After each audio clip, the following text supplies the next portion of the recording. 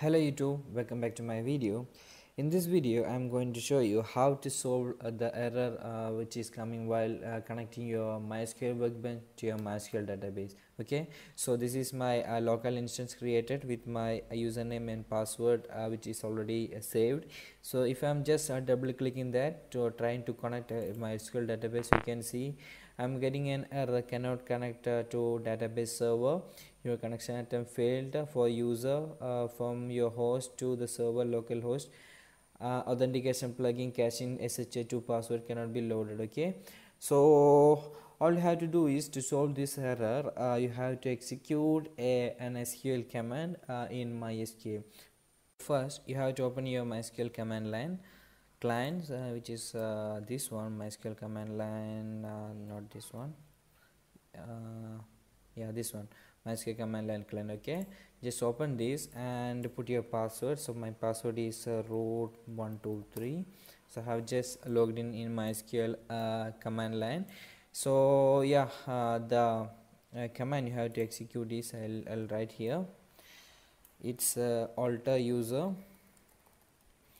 And you have to give the username. So my username is root and I'm connecting to my local host okay so I have to write like local host and then identified by uh, identified uh, with okay? Identified uh, with mysql native password okay? And one more by have to give the password. So my password i'm giving it as uh, root 123 okay?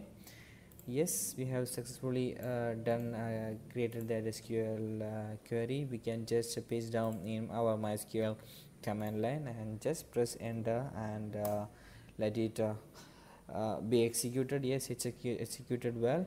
And now we have to just uh, restart our mysql server. So just open your services in your windows and just search for mysql. And i'm going to restart this okay? Just uh, select restart and wait for your mysql to be restarted.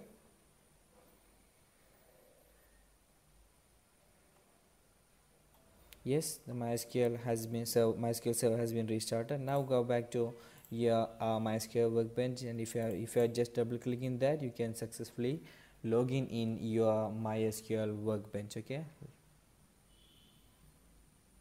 Yes we have successfully logged in in my mysql workbench you can see. Uh, i have a uh, only one database test 001 i'll show you here. Show databases. Okay uh, the connection is lost. I, I'll, I'll have to log in again root 123 okay?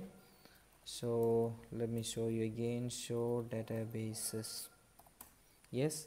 So i have uh, this data database test 001 okay? So i don't have any table in the if uh, it's still having the error you have to update uh, this local host with uh, uh, the ip address like uh, the local host ip address 127.0.1 and if it's uh, again uh, after updating that 127.0.1 IP address get your IP address from uh, your uh, your PC like uh, if you are just opening your uh, network places you can see your PC IP so mine is connected to Wi-Fi. Just click on Wi-Fi.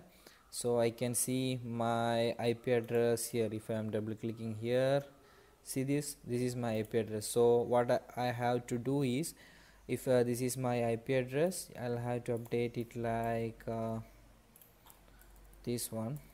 This is 192.168.1.103 okay?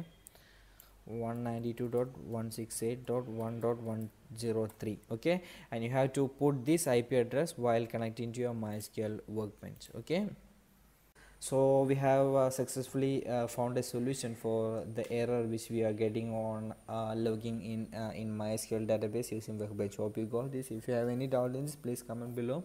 I'll be helping you. And please like and subscribe for my videos and thanks for watching